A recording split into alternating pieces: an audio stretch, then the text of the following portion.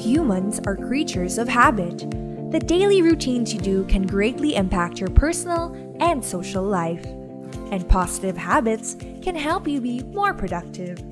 Here are our top picks for the 5 bad habits you need to quit today.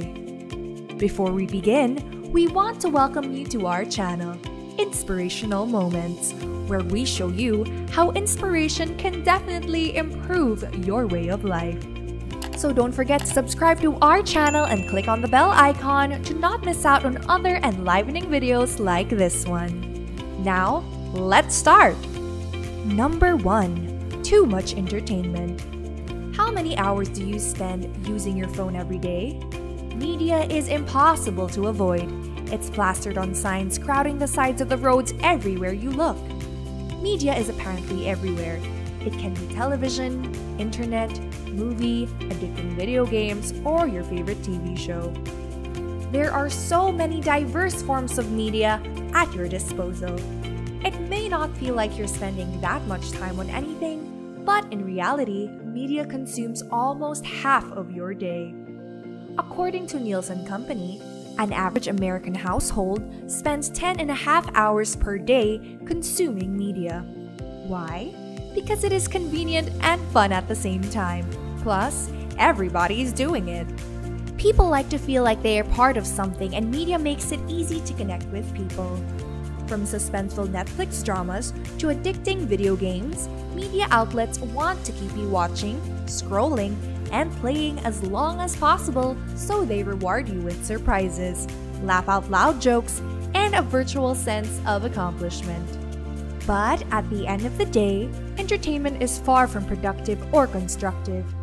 Imagine consuming three hours every night watching TV or scrolling will not change your life for the better.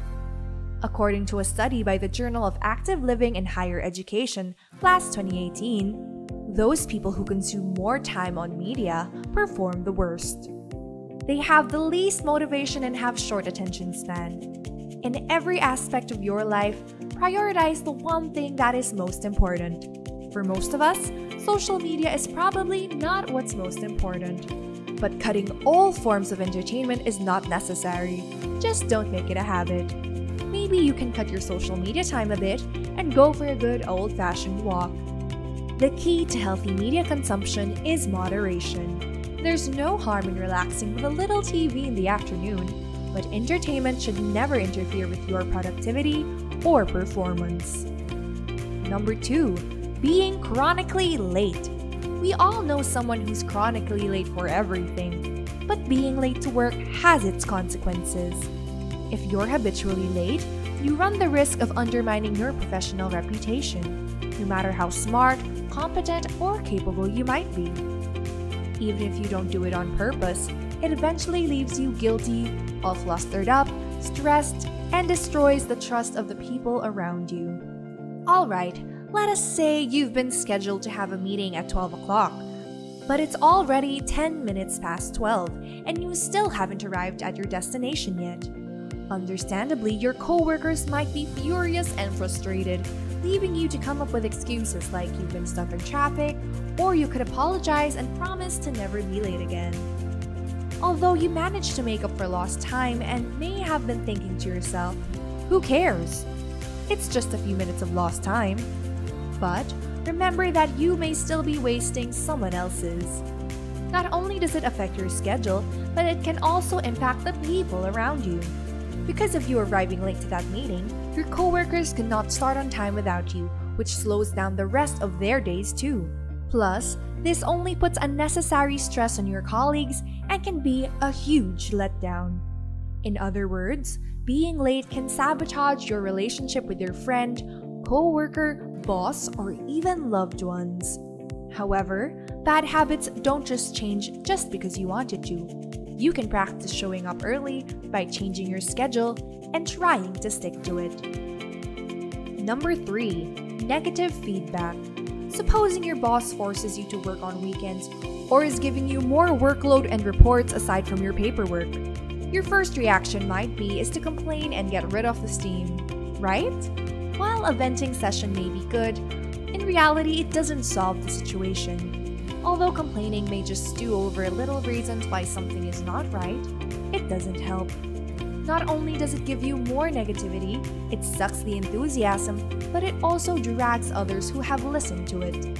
The next time a situation doesn't go your way and you realize you are complaining, create some space so you can analyze the triggers and what you're feeling and find at least one positive outcome.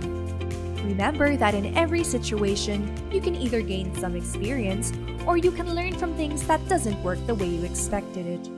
You can't decide the actions other people take or how they affect you.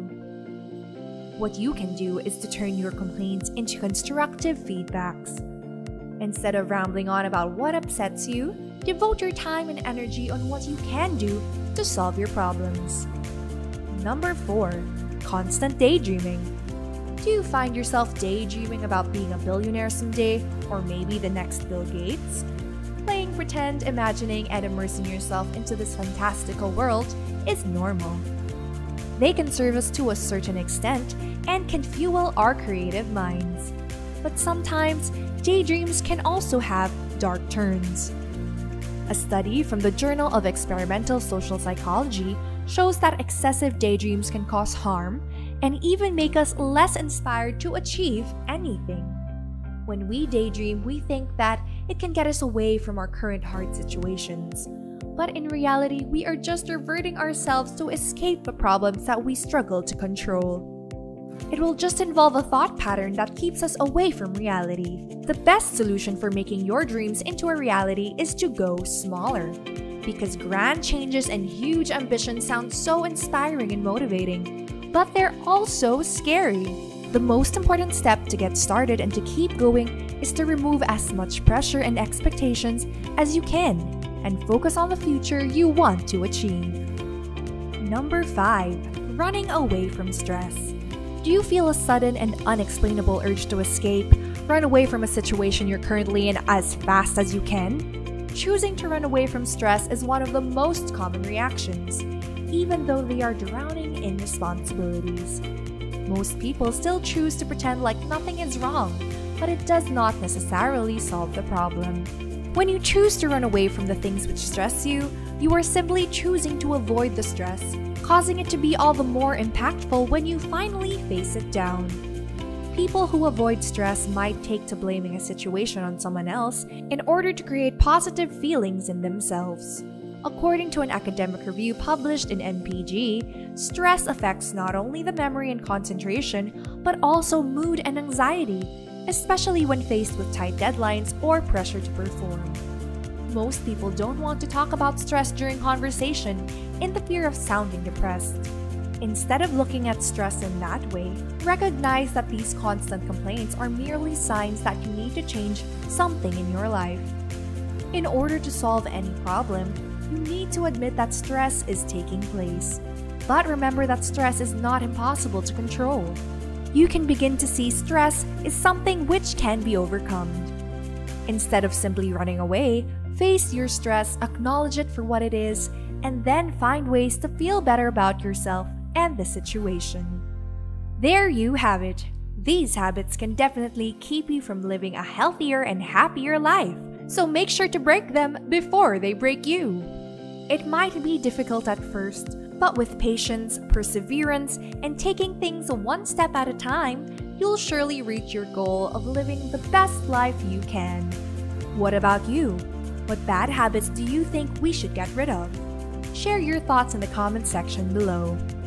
At Inspirational Moments, we want to make sure you're living your life to the fullest and that's why we vow to bring you only the most relevant and useful content to make your life successful. You can use all these tricks today to start living a better life and find inspirational moments. Subscribe to our channel and click on the bell icon to get notified of more quality content coming your way.